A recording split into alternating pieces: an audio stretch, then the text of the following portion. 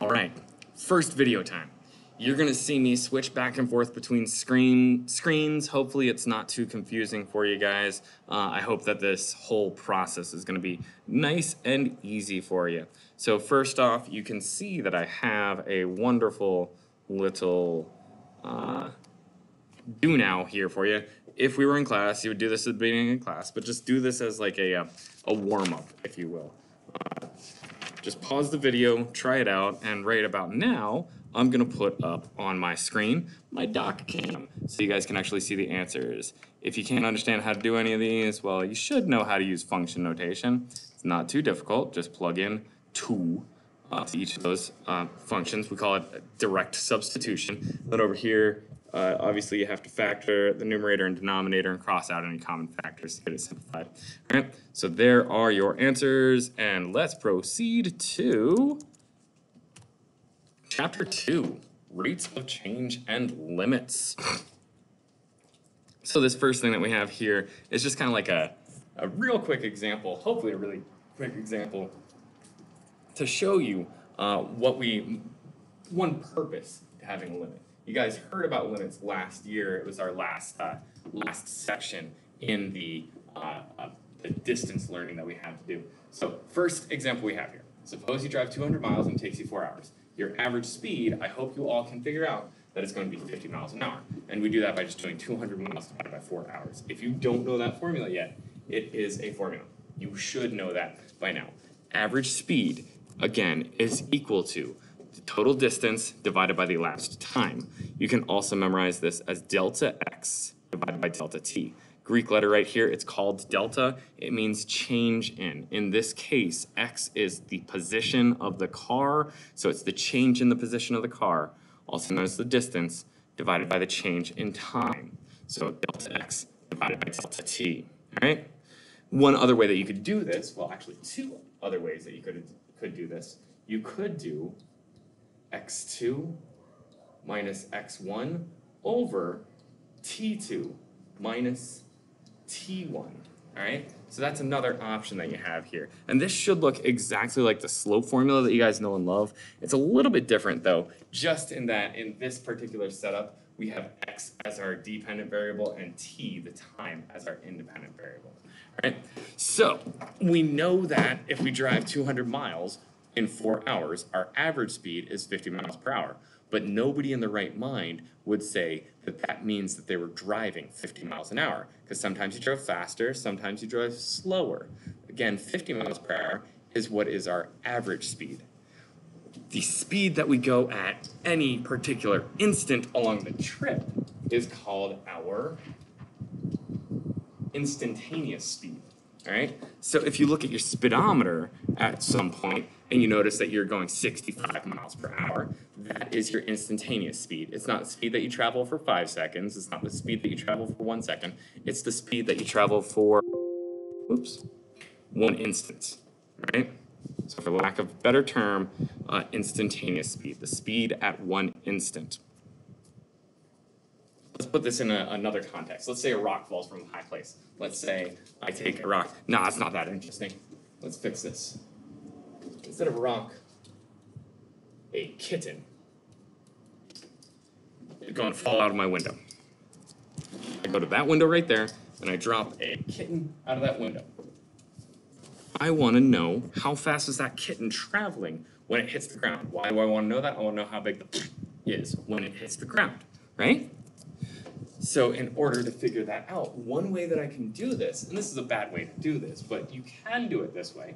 The position of the kitten is given by this equation right here, where the y is the distance that the kitten has fallen, and t is the amount of time that it's taken to fall that, uh, that much. Let's say that I know that the kitten's gonna fall for two seconds before it hits the pavement down below. So that means if I plug in two for t, I'm going to, the kitten is going to have moved 64 feet. So calculating the average speed, and let's not do it that way. Let's do it this way. We'll call it v sub AVE for average velocity. The average speed that the kitten travels at is going to be y of two, the amount of time at the end, minus y of zero, the amount of time at the beginning, over two minus zero. And the y of two is just gonna be looking, looking over here, y of two is sixteen times two squared, which is gonna be equal to the sixty-four minus uh, y of zero. I plug in zero for t right here, and I should get zero off of that, divided by two minus zero, which leads us into this formula for our average speed. Now, if we know that the kitten is traveling at an average of 32 feet per second, does that really help us when we want to know how fast the kitten is traveling when it hits the ground? Absolutely not, because over the entire travel down to the ground, he's traveling on average at 32 feet per second. But if you know how gravity works, we have something called acceleration due to gravity. So he's going faster as he gets closer and closer to the ground. As more time passes, the kitten travels faster and faster. So what we have to do, we have to calculate the instantaneous speed. Ah, yes. What is the instantaneous speed at two seconds? And in order to find the instantaneous speed, let's just call that v sub inst. I would have to do y of 2 minus y of 2 divided by 2 minus 2, which is not good. That, that's really bad for us to do because if I was to take y of 2, that's the same number as y of 2, so I get number minus itself is going to equal 0 divided by 2 minus 2 is 0. What we have here, if you uh, had me in the springtime, you will hopefully in deter remember this term.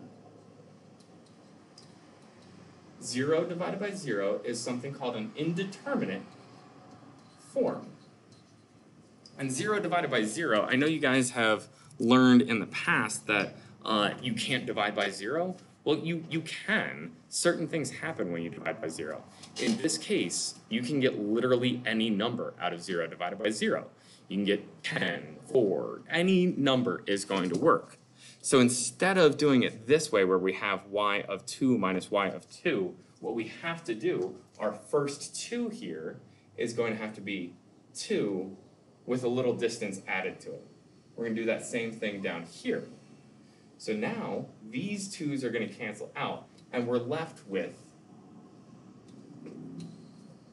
this formula delta y over delta t is going to be equal to 16 times the quantity of 2 plus h squared minus 16 times 2 squared, all over h. And just to show you guys what I'm talking about, I did, I just took this expression and used my, uh, used my function notation to evaluate 16t squared, but instead of t, I'm plugging in 2 plus h, all right?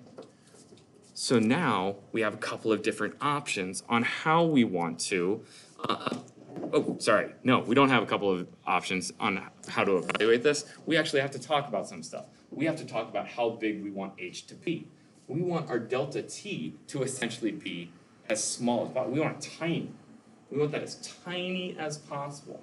So we want h to be unbelievably small. And you all should know what the smallest number possible is the smallest po number possible is going to be zero. Essentially, we want h to be zero. But if we make h zero, we're still going to run into that zero divided by zero problem.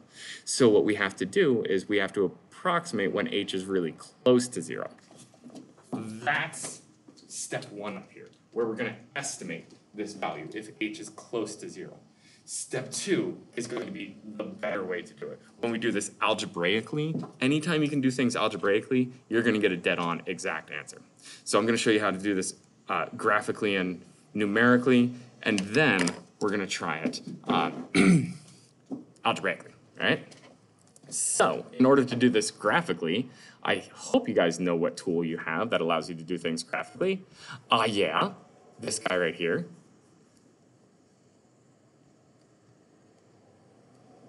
My TI-84 is a little bit off. There we go. I think you guys can see that a little bit better now, can't you?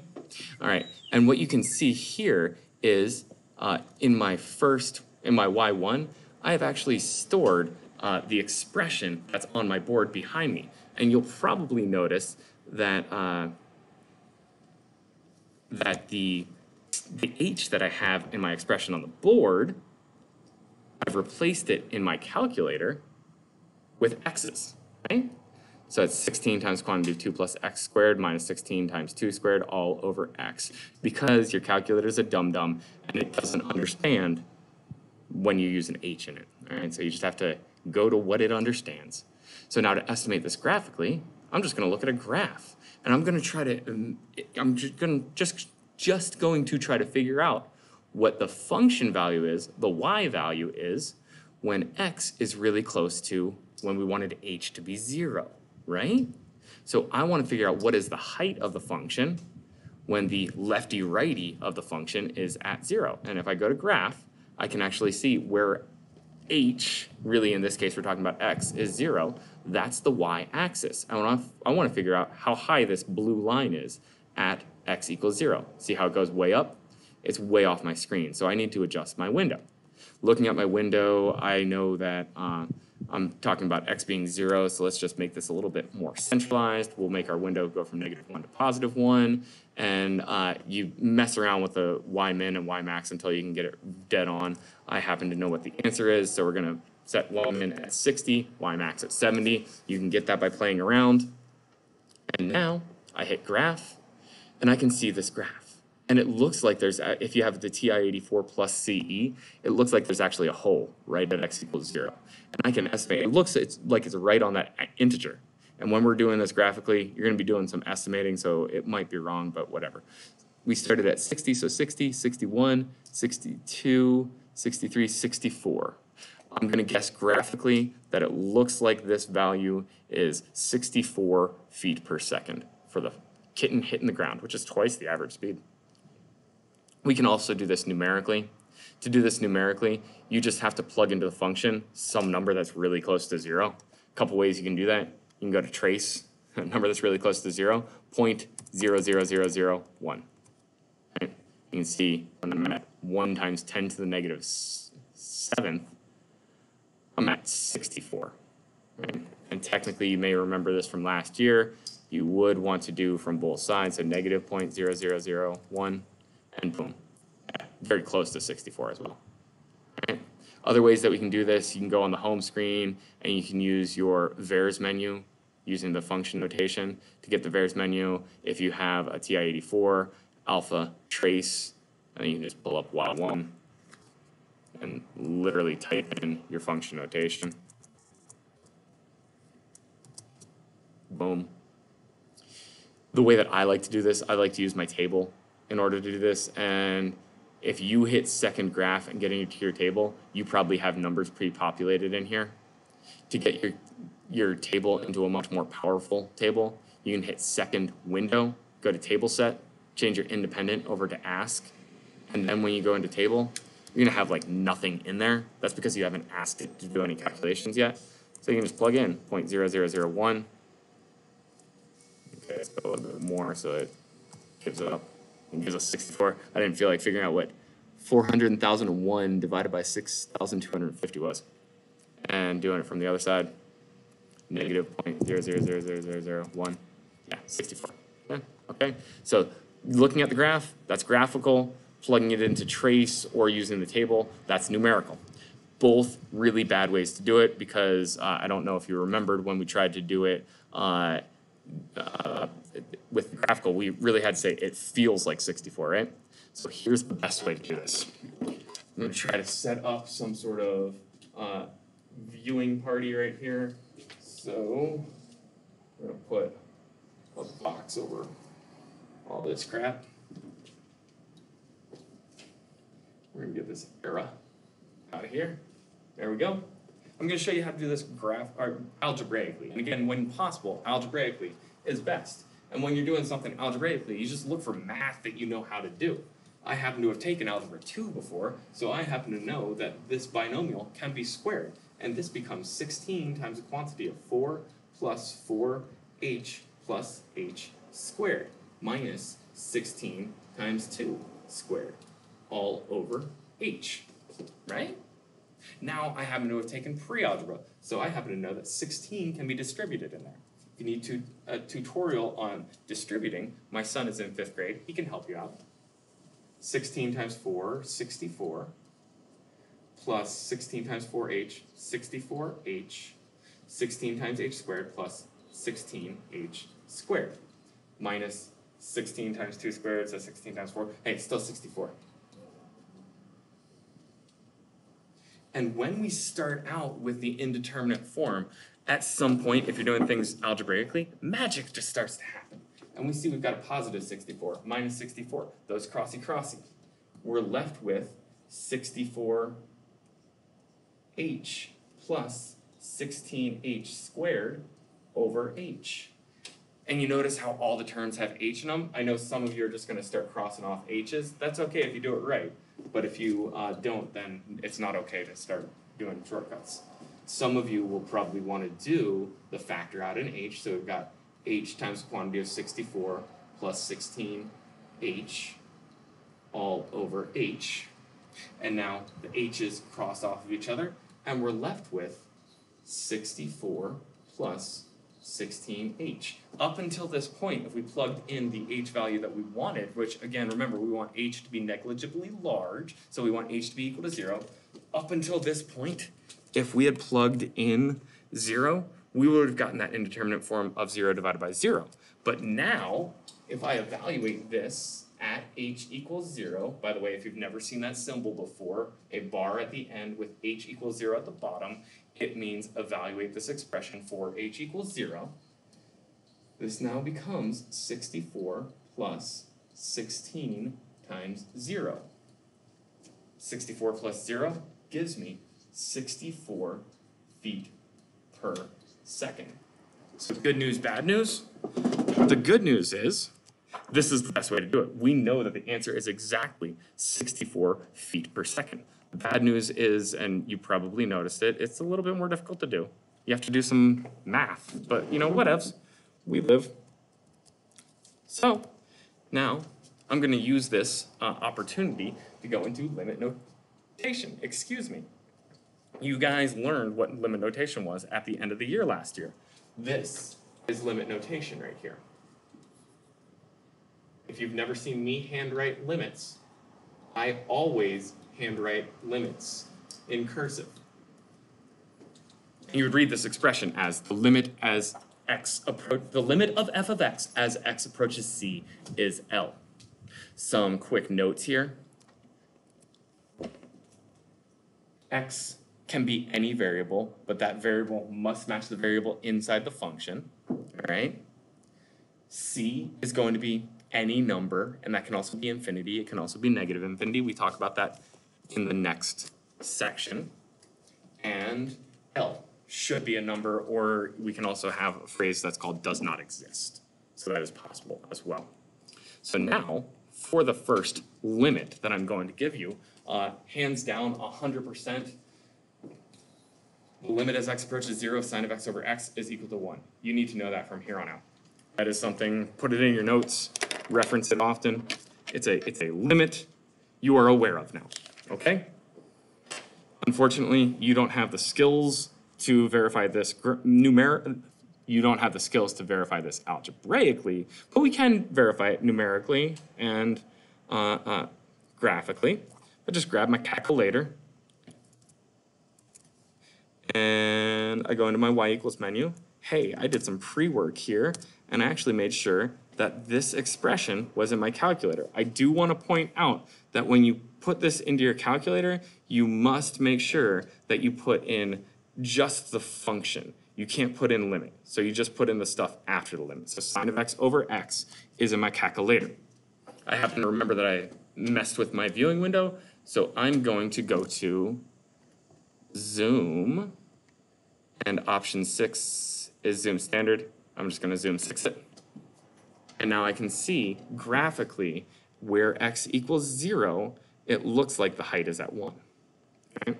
And I can also go to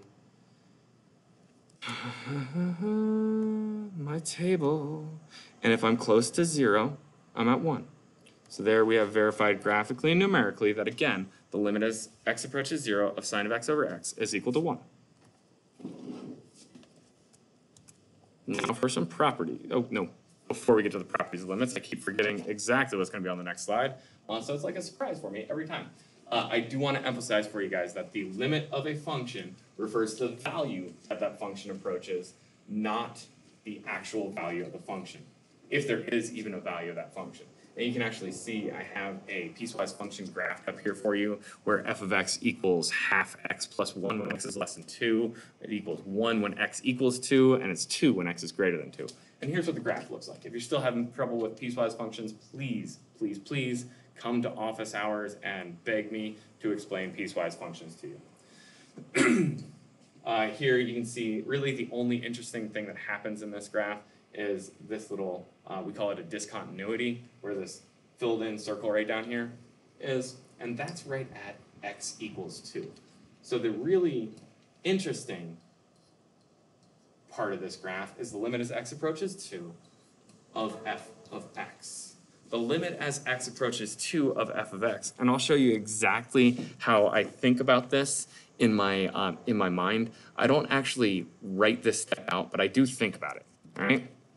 So I imagine where x equals 2 by drawing this vertical line. And you might want to do this while you're learning. That might make it a little bit easier. So deal.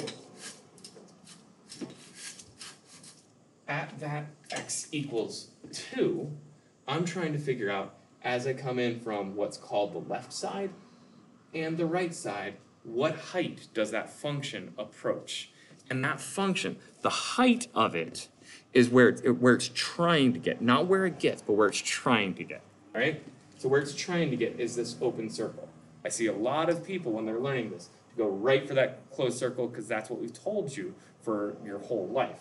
But we're looking for where the graph is trying to get to, not where it gets, but where it's going to. So in this case, the height of where it's approaching is actually at a height of two. Whereas the actual function value, f of two, that's the closed dot. That f of two is one. So it's the value that the function approaches, not the actual value that it attains. Now we're gonna talk about properties of limits. The properties of limits, that's right on page sixty-one and it bleeds over onto sixty-two. You can see them right here. They're, it's really convoluted L, M, C, and K are real numbers. Limit as x approaches C of f of x is equal to L. Limit as x approaches C of g of x is equal to M. Then the sum rule says the limit as x approaches C of f of x plus g of x is equal to L plus M. The things, the things that you have to focus on here is all of the approach values are the same. So they're all x approach C. The L goes with F. The M goes with G. So if you're taking limit as x approaches c of f plus g, you can just take the actual limit values there. Now, all of those, you got sum rule, difference rule, product rule, constant multiple rule, quotient rule, and on page 62, you even have the power rule. All of these in the book are really convoluted, a really convoluted way of just saying limits can be added, subtracted, multiplied with limits and with a constant, divided, and raised to a power. I happen to have some like nice tangible uh, examples of how, um, in general, uh, these can be tested on like uh, how I've seen them on the AP test, how I've seen them uh, just in general college classes. It's something like this. Uh, you have some information right up here where the limit as x approaches 2 of g of x is equal to 3 the limit as x approaches 2 of h of x is equal to 5. Then they ask you to find the limit as x approaches 2 of 2g of x minus h of x. And I've seen some college professors require that you spell it out exactly like this. Limit it, you, you've got a difference in here, so you can bless it apart into two different limits. 2g of x minus limit as x approach 2 of h of x. Since I've got a 2 in here, I can use the constant multiple rule to slide that 2 out in front. So this becomes 2 lim x approach 2 of g of x minus lim x approach two of h of x. And now since these expressions match exactly up here, we can just go right into two times three minus five, which two times three, I think that's six minus five. The answer is one, right here, all right? Honestly, nobody in their right mind actually does all of this. You see that the two, two, and two match. You're talking about two g of x minus h of x. You know the limit as x approach two of g of x is three. So uh, really what you would do is you would just jump right down to this step if you're doing this informally. If there's some sort of way that you have to show your work, then you would have to do this. Lim x approaches two of h of x over g of x. Let's just go, let's just cheat on this. Two, two, two, good. h of x, that's the five. Thirds, answer's five thirds, all right? Uh, the decimals suck, so I'm not gonna do that. X approach two, yeah, two and two, all right, cool. h of x, that's the five, so this is equal to five squared plus three, so five squared, twenty-five plus three, twenty-eight. That next problem down there, way too hard for us to do right now. But there's, there's that theorem, all right? And now, we have another theorem. Theorem two is on page sixty-two. Let's go back to my doc cam so you guys can see it. There's theorem two. If f of x is a polynomial function and c is any real number, then the limit as x approaches c of f of x is equal to f of c. If f of x and g of x are polynomials and c is any real number, then the limit as x approaches c of f of x over g of x is equal to f of c over g of c, as long as g of c is not equal to zero. Uh, that's a convoluted way of saying if you're finding the limit of a polynomial function as x approaches c, just evaluate the function for c. If you're finding the limit of a rational function as x approaches c, as long as the denominator not zero at c, then evaluate the function for c. This is what's called direct substitution. And you can see right up here, I actually have some direct substitution problems. My recommendation for you guys is anytime you start a limit problem, start with direct substitution. I see limit as x approaches five of x minus four to the two thousandth power times x. That looks scary because I got a two thousandth power. But really, I just tried plugging in five. Five minus four to the two thousandth power times five. Five minus four is one. One and one to the anythingth power is one. One times five gives me five. See how easy that problem is? Or we can talk about this. This is a rational expression. The first thing I check in my rational expression, if I plug in three into the denominator, am I gonna get zero? Because I can only evaluate this as long as the denominator is not zero. Three minus two, that's one. Okay, cool, we good. So we just go and we direct substitute. Three squared plus four times three plus four over three minus two. Three minus two is one. Uh, three squared, nine, plus twelve, plus four, nine plus twelve, twenty-one plus four. Twenty-five sound about right? Right? Nine plus twelve, yeah, twenty-five. Right, or that one that I said before was way too hard for us to do, guess what? Ain't too hard for us to do now, and it's a polynomial. If I have a polynomial expression inside my limit notation, all I have to do is direct substitute. Notice how it's x approach one, negative one, sorry? I got two times negative one squared minus seven times negative one plus nine. Negative one squared is one times two gives me two. Uh, minus seven times negative one gives me plus seven plus nine. Two and seven, nine 9, 18. So always try direct substitution, because if it works, you have your answer. What happens if it doesn't work? Well, then you have to look for something else. Wait, wait, pretend like I didn't ask that. What happens if it doesn't work? I I meant, I didn't ask that. So it's, it's just up here now. So I would recommend, try direct substitution on this. All three of them, just do direct substitution. I'll wait. No, I'm just kidding, pause it and, uh, and then I'll come back. Because right now I got negative one squared, that's one, minus one, zero, divided by negative one plus one, that's zero. That indeterminate form. If you find an indeterminate form at any point in your problem, that's when you know that you have to do some extra work. If it's not an indeterminate form, but you still can't evaluate it, then there's some other tricks that I'll show you uh, some other time, not right now. But here, we're just looking for some sort of trick. One thing that I do want to point out, you can only drop the limit notation here. Notice how I don't have the limit notation in the second expression? That is because I did the direct substitution. At this point, I'm going back to this expression, maybe do some math on it, but I'm going to go back to the time before which I did the direct substitution. So the limit notation has to still be there. It seems that whenever we have elementary calculus students, they always hate to write the limit notation, but whatever, I don't care. You must do it. You will lose points if you don't.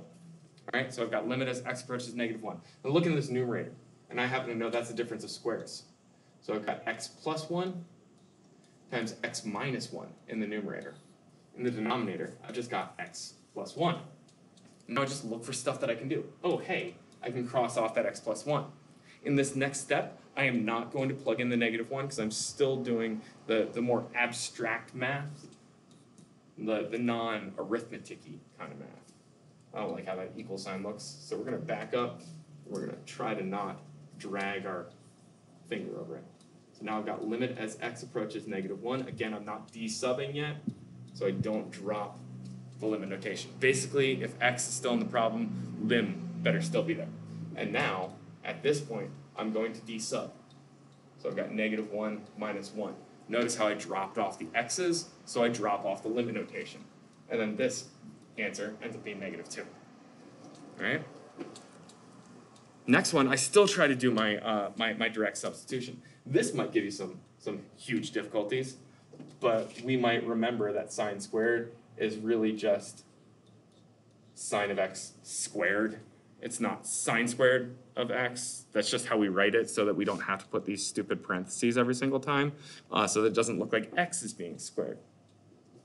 So I happen to know if I was to direct substitute in this one, sine of zero is zero.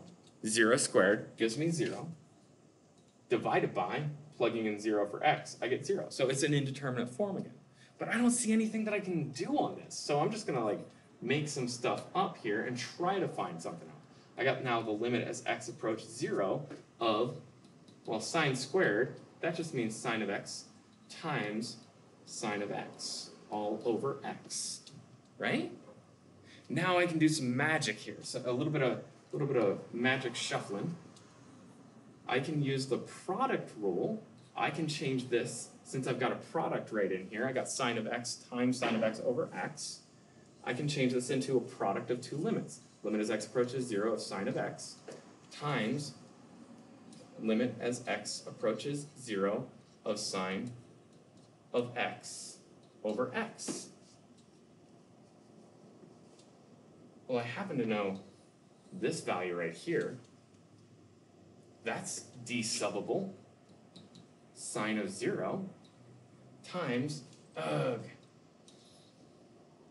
This one right here, that's hard. I don't know what that is. If only, if only somebody, somebody in this world, if somebody had told you what the limit as x approaches zero, sine of x over x is.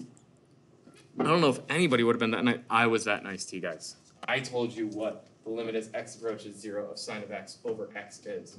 I told you that that is equal to one. I'm sure at some point I told you about the zero product property, that zero times anything is zero. So this value, the limit as x approaches zero, of sine squared of x over x is equal to zero. And again, notice that I'm not desubbing here, so I'm keeping limit notation. Don't drop your limit notation halfway through the problem, because that is ciabatta.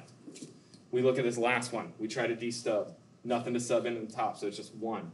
Over negative one plus one is zero. Yikes, that's not an indeterminate form. I teach you how to evaluate this limit next section, but we could also do this using our fancy schmancy graphing calculator. In fact, if we go into the y equals menu, you will see on my calculator, I've actually already put in the expression of one over x plus one into y three right, y three right here, one over one plus x. And if we remember from trig precalc, we actually know what happens at a value of negative one. If you can't cancel off a, a factor of zero in the denominator, this ends up just being a vertical asymptote. Let's just look at the graph.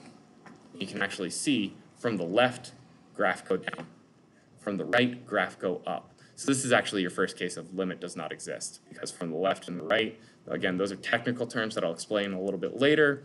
Uh, since they go different directions, uh, the limit does not exist. At x equals negative one, it exists everywhere else. Let's take that off. And let's go, ooh, here. We have something weird called a right-hand limit and a left-hand limit. We've got a first expression up there.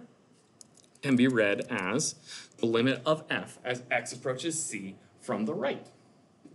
We've got the left-hand limit would be read the left the limit of f as the limit of f as x approaches c from the left.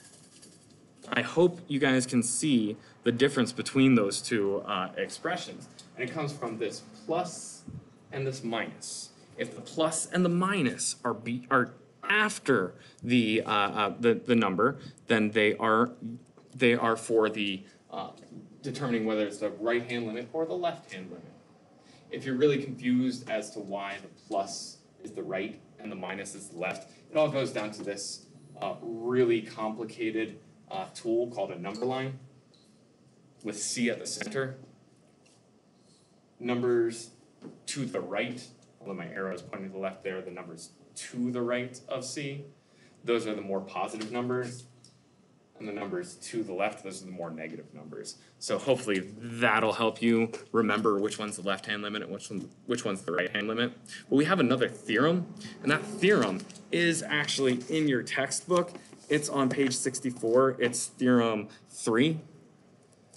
It's right, right here, it's kinda math jargony. Uh, a function f of x has a limit as x approaches c if and only if the right hand and left hand limits at c exist and are equal in symbols. Limit as x approaches c of f of x is equal to L if and only if the limit as x approaches uh, c from the left equals the limit as x approaches c from the right, uh, which is equal to L. So then the limit exists and it is L. Right? We could also say that in non-gobbledygook type speak. And it looks like this. The limit of f as x approaches c exists if and only if the limits from both left and right exist as the same number. I guess that is pretty much the uh, word way that the book put it. But here we have another piecewise function. And I would say there's actually one, two, three, four, five. There's five interesting points here. And by interesting points, I mean weird stuff happens. Like at one, there's this thing that happens.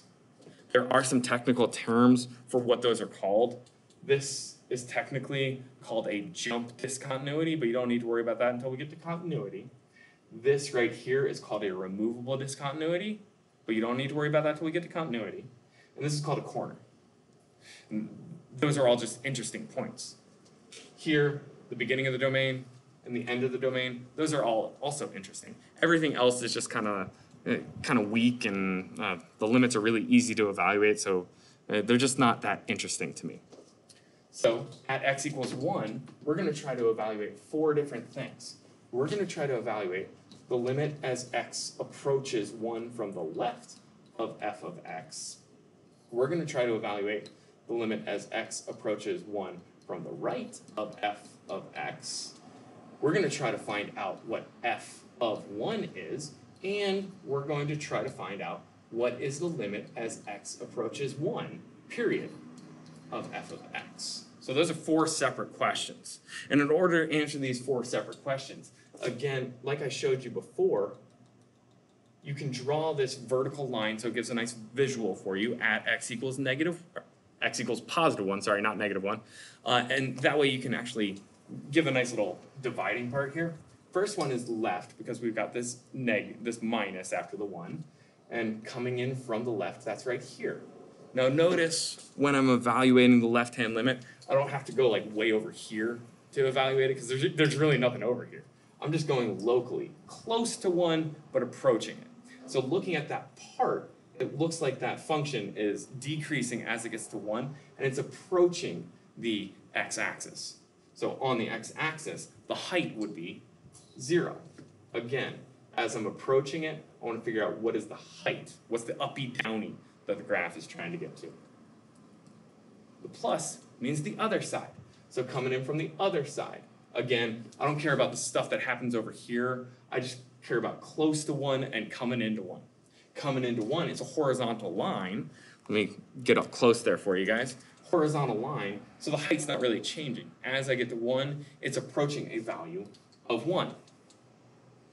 f of one, that is just where it's colored in.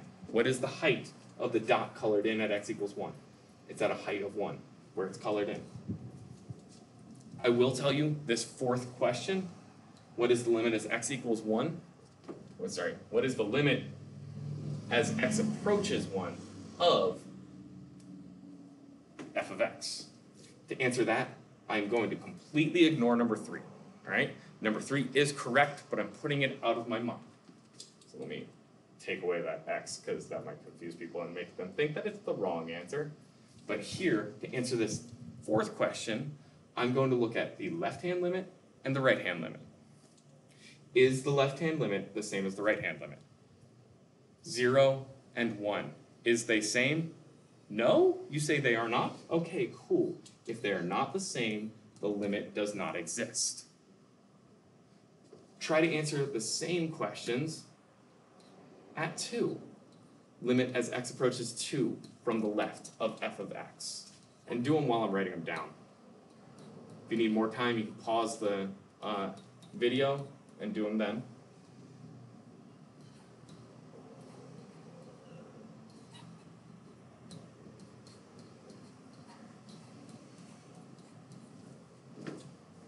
If I'm being honest with you guys, the way that I would do this problem, I would do the first two and then the last one. And then I would do the third one. Because really, again, the third one does not make any difference for uh, all the other problems. So again, here, I'm talking about two this time. Left-hand limit, I'm going toward, toward two. Horizontal line, flat at one. From, left-hand, uh, limit as x approaches one from the left of f of x is equal, sorry, limit as x approaches two from the left of f of x is equal to one. Limit as x approaches two from the right, well, that's over here. It's going down, and it's going to a height of one. Alright, cool, cool, cool, cool, cool. Are these two the same? I'm basically just asking, does one equal one? And the answer is absolutely yes, it does. And since it since these two limits equal each other, the handed limits equal, the limit as a whole is one. Now let's go back to this one. Just, this just means where is it colored in? It is colored in at two. F of two equal two. Alright? So just to show you, here's those answers. Left hand limit, right hand limit, F of two, boom, yeah. We're gonna try to do the same thing at three. So I, what we had four different questions. Limit as x approaches three from the left of f of x. Limit as x approaches three from the right of f of x. f of three and limit as x approach three of f of x. And this is actually a very special case. So if we look at three, and again, if you don't have them yet, pause it, try to answer them. Some of you are gonna just like tear through these answers. Some of you are gonna struggle a lot. Coming in from the left, line's going up. It's going to a height of two. Hey, look, coming in from the right, it's going same place. It's also two. Are these two the same? What's that you say? Yes, they are? Okay, then this is also two.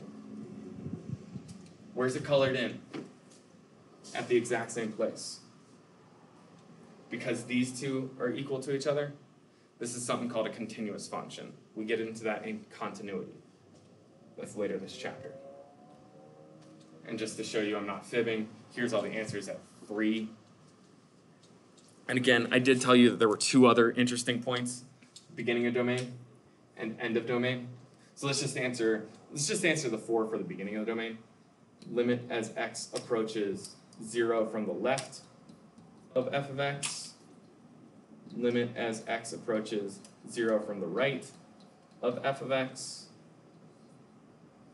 That's not the one I wanted. Third one I wanted was f of zero, and then I wanted limit as x approaches zero of f of x. Right? So we're talking about at x equals zero in this case. And you may be looking to the left of zero, and you may be in like, what the what, what the devil? There's nothing over here. If there's nothing over here, then that means that the limit can't exist because the function is not defined. So if the function is not defined, I guess we technically don't have to put equals does not exist. We just put d n e. That is shorthand for does not exist. I'm pretty sure any college professor will accept DNE.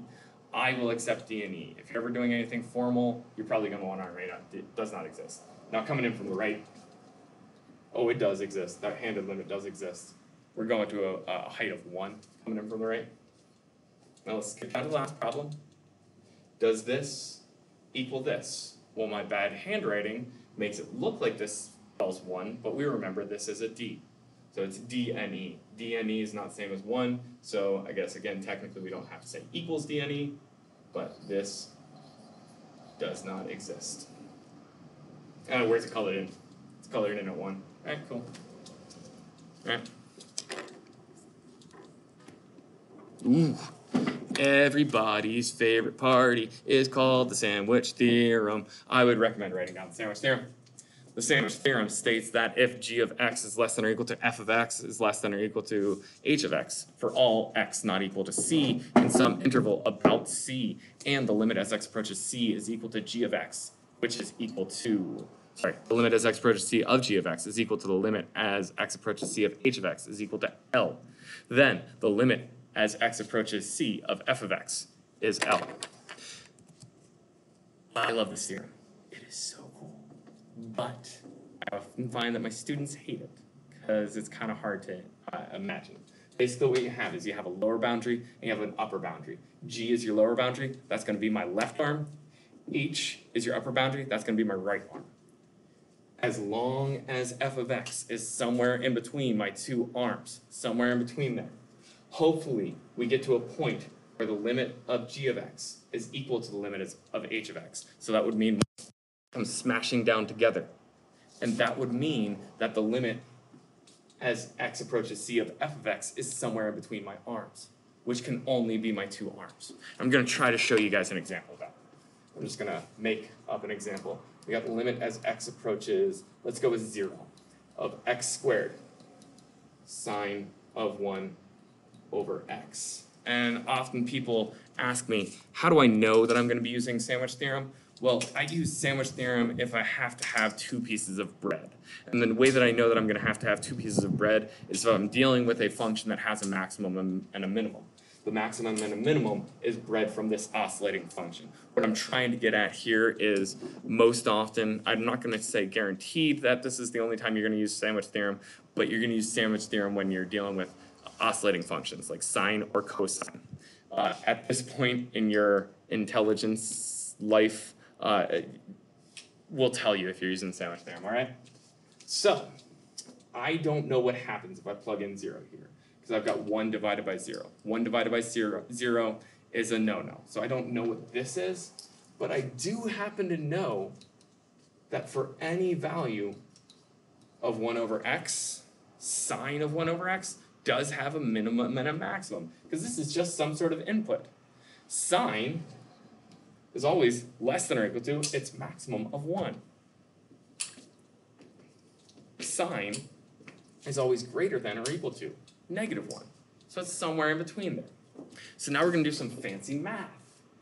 I see that I've got x squared sine of 1 over x up here. I want to make this say x squared sine of 1 over x. So I can multiply it by x squared. It's still scary in the middle there. But I remember algebra 2, if I multiply by x squared over here, I gotta multiply it on the left-hand side. So I've got x squared times negative 1. And if I multiply it on these sides, to maintain the inequality, I have to multiply it over here as well. Right? Still confusing as heck. But a little bit less so, because now I know that this is negative x squared. Less than equal. x squared sine of 1 over x. Less than equal x squared. Again, still horrible. But what I now have, I now have this expression is the same as the function in the limit notation. The sandwich theorem now allows me to just write the limit notation in front of each of these expressions. So let me show you what that looks like.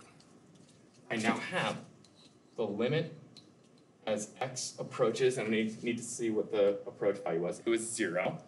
So I've got the limit as x approaches zero of negative x squared less than or equal to, I'm just putting the same exact limit notation in front of every single side.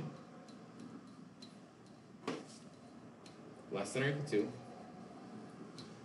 limit as x approaches zero of x squared. So again, that, this line up here, the only difference for the last line is writing limit in front of each of the sides of the inequality. How does that help me? I don't know.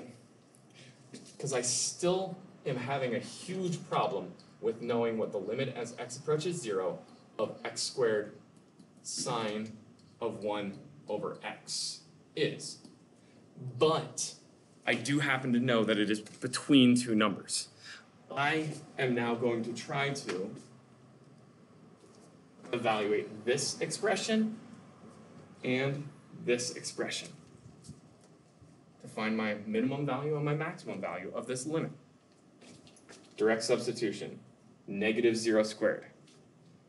That's zero. Okay. Direct substitution, zero squared.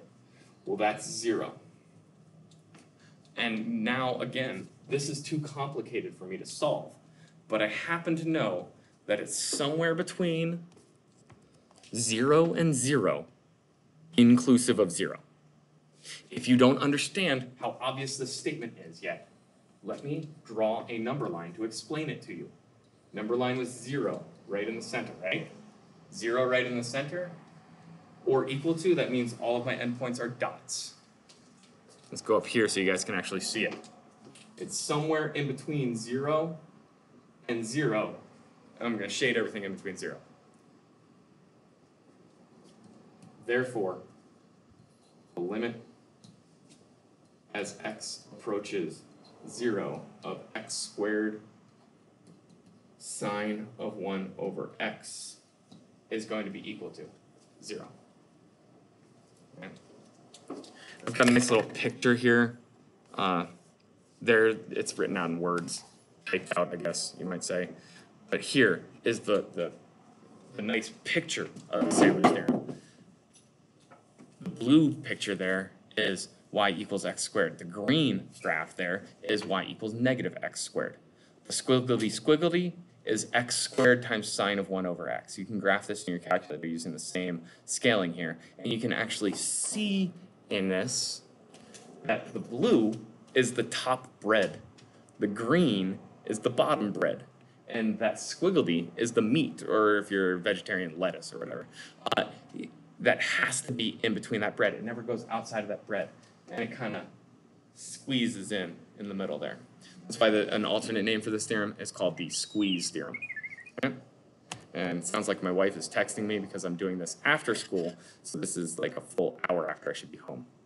Uh, here are some practice problems. These are probably some problems that we're going to have to go over in class. You might want to look at them, try them out, but we will have much more practice in class. So uh, this was fun. Let's do this again sometime, and I hope next time I make a video, I don't have to record it four times.